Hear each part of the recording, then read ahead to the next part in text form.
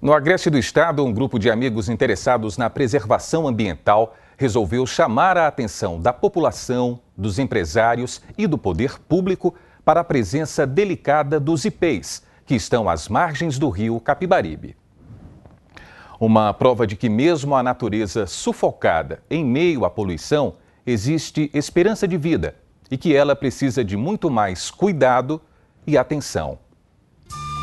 Entre o marrom da vegetação seca, um amarelo cor de ouro chama a atenção. Essas árvores que se sobressaem das outras são ipês, muito comuns nos cerrados e caatingas do Brasil.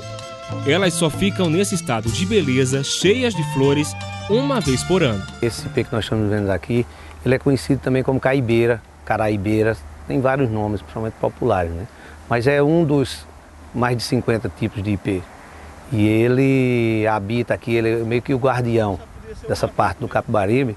E ele tem uma florada muito bonita, bonita e curta. Então a gente tem que aproveitar de maneira muito intensa esse curto espaço de tam, tamanha beleza. Os ipês são altos, têm um tronco bastante robusto e a madeira é muito valorizada comercialmente. É usada na construção civil e para fazer portas, móveis mas existe um problema que pode causar danos irreversíveis para a árvore, que é a poluição. Vista que o rio está num elevado nível de, de, poluição e ela ainda resiste, alguns animais também resistem bem.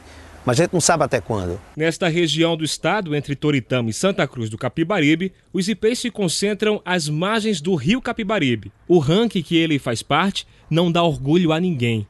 É considerado o sétimo rio mais poluído do Brasil, de acordo com o IBGE.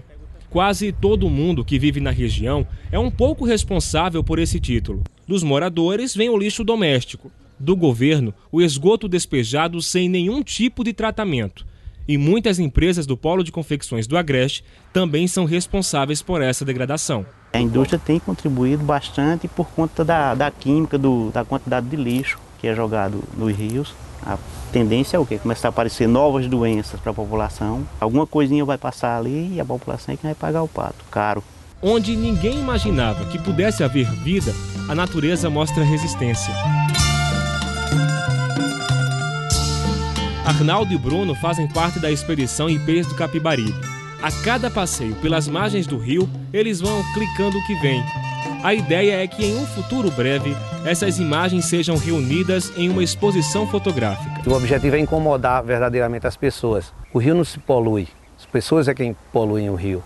Eu acho que o, o homem é o único animal capaz de matar um rio, mas também o homem é o único animal capaz de salvar um rio. E essa consciência nós queremos despertar nas pessoas. E a beleza destas árvores pode ser um fator importante para mexer com a sensibilidade e a consciência de quem deveria cuidar do meio ambiente.